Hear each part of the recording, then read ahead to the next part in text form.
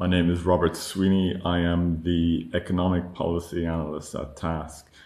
I work on a variety of issues related to inequality. This includes income distribution, housing, taxation, low pay working conditions, and more. I enjoy my work because I get to find things out about the world. It also provides me with a platform to disseminate my findings and potentially change people's minds about the things that I work on.